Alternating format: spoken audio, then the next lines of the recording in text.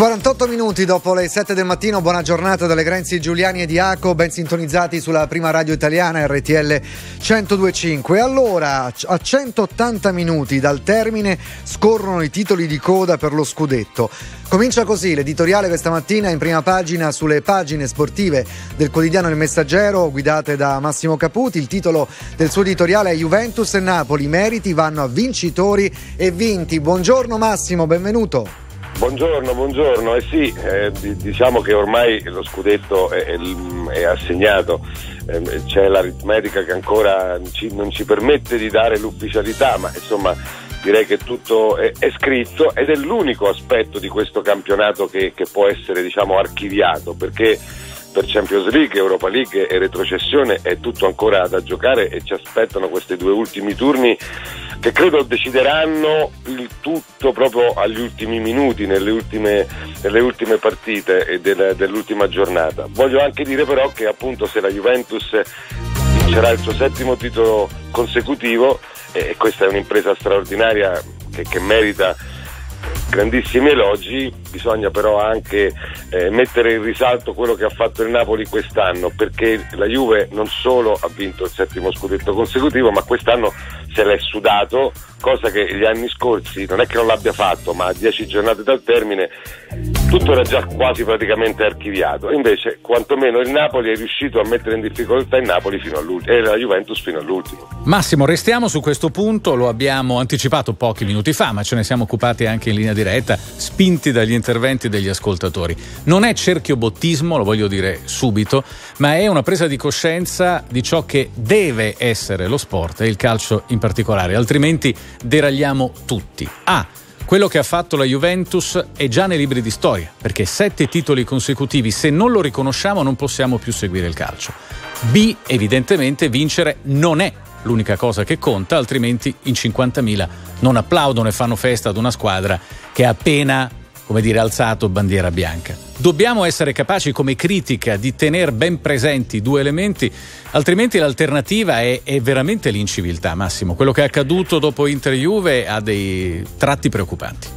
Sì, sì, sono, sono d'accordo, ehm, anche perché e diciamo da una parte non si può sostenere che chi vince sette scudetti consecutivi insomma, si, li vinca solamente perché ha degli aiuti esterni, perché insomma eh, credo veramente che, che, che, facciamo un torto a noi stessi se pensiamo una cosa del genere. D'altro canto bisogna anche però dire che eh, vincere, eh, come dicono in casa bianconera, è l'unica cosa che conta, ma non solo, non solo quando tu sei una, una squadra che regali eh, emozioni tante, enormi ai tuoi tifosi, eh, sei anche capace di, di, di, di praticare un calcio che, che, dà emozioni indipendentemente poi se, se, il risultato finale è quello di vittoria. È chiaro che tutti vorrebbero la loro squadra del cuore che vincesse, però questo Napoli ha appassionato, ha avuto i suoi limiti, li ha dimostrati perché evidentemente eh, se no avrebbe vinto lo scudetto, però rimane una grande stagione e nessuno la può disconoscere. Ecco Massimo, però eh, io ogni volta che insomma, ci capita di eh, trovarci di fronte ai messaggi degli ascoltatori, soprattutto sulla questione Juventus, sempre leggo da anni, sono veramente tanti anni, è come se non gli si perdonasse mai qualche cosa fino in fondo. C'è, c'è, tu ti sei spiegato nel tempo che cosa è successo e che cosa succede ai tifosi di calcio rispetto appunto alle vittorie della Juventus? È solo invidia sportiva? È qualcos'altro? Eh, guarda, io credo che il nostro paese sia ancora rimasto quello dei comuni e delle signorie e nel calcio eh, questo viene tutto fuori, poi alla fine siamo tutti contro tutti.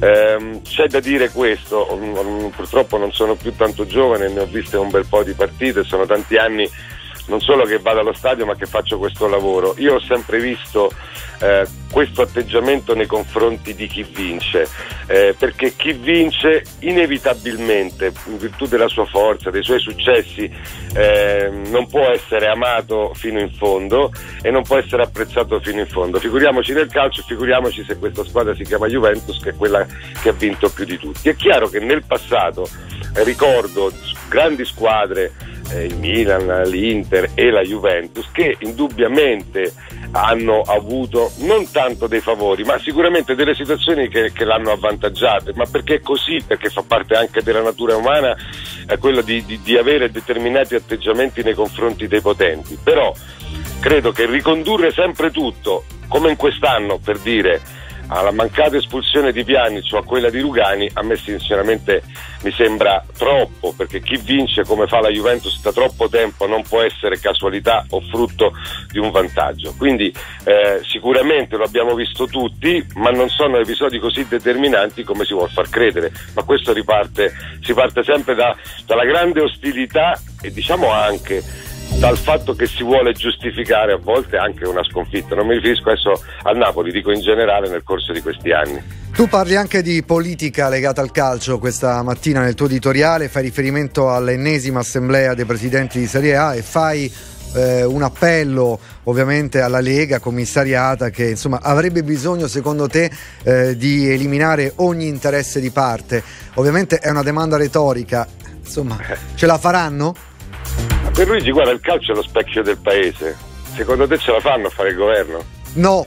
Ah sì, il governo, sì, no, no, il governo ce la fanno a farlo, anche sì, perché... però per dire che parte, mm. cioè, Dipende cose, quale. Eh, Qua, deve, quale, deve, intervenire, deve, intervenire, il presidente, cioè, adesso no, la mia chiaramente è una battuta, però è, è così.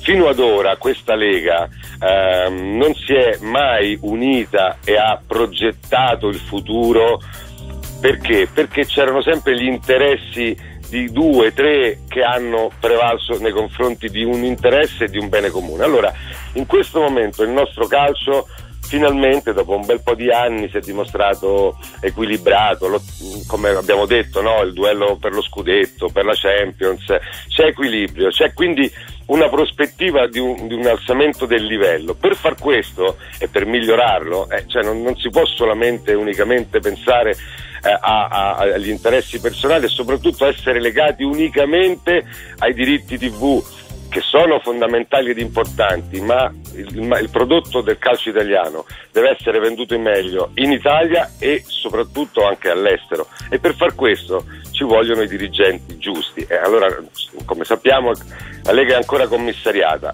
Siccome c'è il, il problema dei diritti TV ancora non si può definire la governance e quindi non si può eh, nominare l'amministratore delegato. Insomma, si perde sempre troppo tempo. Invece bisogna lavorare per il futuro perché gli altri vanno.